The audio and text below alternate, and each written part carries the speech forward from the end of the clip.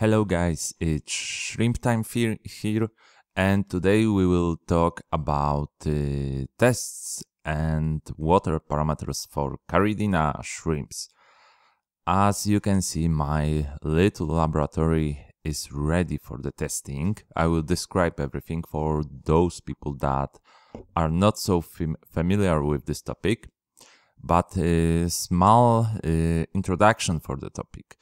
You have to remember that to keep Caridina shrimps, you need to assure that they will have uh, stable parameters of the water, yeah? So uh, many people only check the uh, water parameters by conductivity uh, with this the special device for this but uh, i go a little bit further i try to test my water also with uh, gh tests.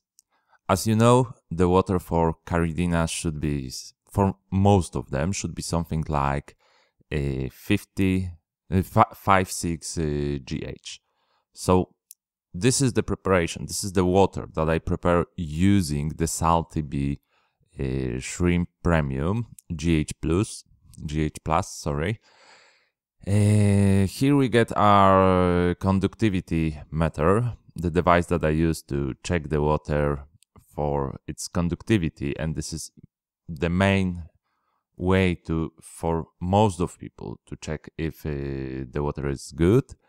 Here we got some little 5 milliliter syringe and and and now we will go to the main actors of this uh, movie to tests i use two tests i use uh, jbl and zoolek yeah the first one is zoolek the one you have seen and this is jbl gh test so both of these uh, tests are quite young. They are recently bought, and we get we get two little buckets for water. This is from Zoolek, and this is from JBL. So those tests should uh, show us the results of uh, 5-6 GH. Yes, because I prepared the water exactly uh, with the direction that instruction of uh, shows and it says that it should be 1 1.30 grams uh, for 10 liters of water to achieve uh, to achieve uh, to achieve 5 6 gh and something like uh, 200 microsiemens so my water was prepared according to that and we got the result uh, 240 250 uh, microsiemens and the reason the first re reason is uh, because my RO water uh, is about 20 microsiemens. The second reason is that even my conductivity meter can show a little of results, even though it wasn't calibrated for three years. Uh, and uh, and I have been using it for three years without calibration and without any problems. Yeah, because even if we if it goes off like 20 G, uh, 20 microsiemens or something like that, it's not that much. And as you can see, I'm putting to both of these little buckets uh, 10 milliliters of water. So the test will be more precise, yeah, because I want to have not uh, every drop of the test will show uh, 0.0 uh, GH change uh, but but if you make the test with 5 milliliter of water you will get uh, 1 gh for every drop so now let's prepare the test and we'll see what the results are we'll start with uh, with uh, jbl test and why it's so important to check the water and have precise uh, results if you are keeping shrimps, uh, the water stability is very important. Yeah, this is the first thing. You want to make water changes, make water for your aquariums with same parameters. If you are making water for 5 uh, GH, you want to have this 5 GH every water change, so uh, the shrimps won't get stressed during uh, its, its their life in the tank. Uh, if you are changing the water pa parameters in your tank, the shrimps can suffer. Another quite important uh, reason for me to have stable parameters is that I sell my shrimps to uh, to my viewers, to to different people, and I want to say them how to prepare the tank. Yeah, so I need to uh, post the shrimps in water that will be quite similar to the water that they will use. So the risk that shrimps will die, will have problems uh, during acclimatization process will be low.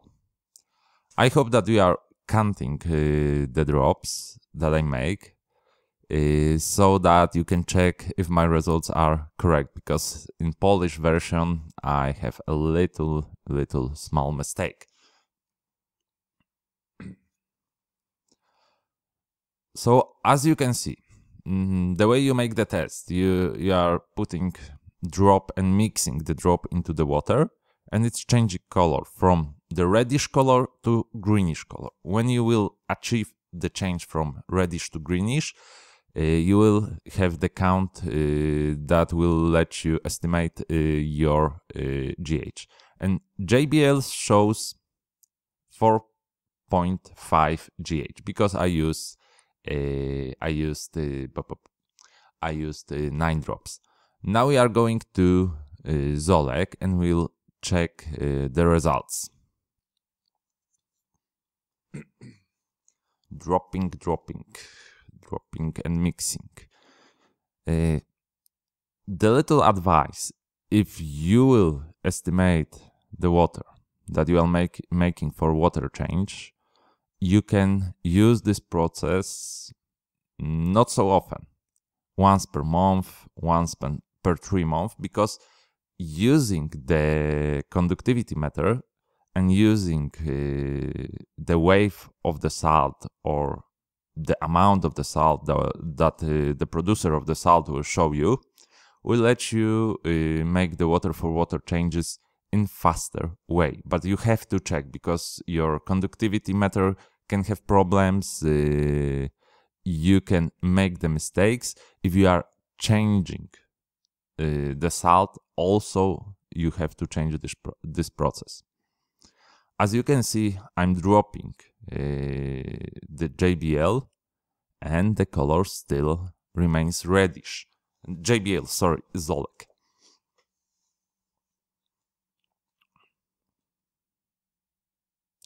Uh, one another, um, one another, uh, let's say, one other thing that I believe it's true is that the producer of the salt have better devices to check the water parameters for its salts uh, than we have. So I believe that uh, the amounts that he's saying uh, that you need to use and the parameters that you will get are more correct than the results that I will achieve. But getting back to the Zoolek, as you can see, it's changed its color uh, after 14 drops. So Zoolek shows us 7 GH. We have two different tests and the result is 2.5 uh, GH. Two, yes, 2.5 uh, GH different. For me, it's very high. It's very high. It shouldn't happen I will believe more in JBL just because it's near to the results that I should achieve according to the producent information. But if you believe in uh, in the test and you are uh, checking only GH when you are making uh, water for your shrimps, make sure you check the tests and check every bottle of these tests, not only the produce because you can achieve the uh, results as I did, so different, and it can make you have problems with keeping shrimps. Thank you for your time. See you till the next movie.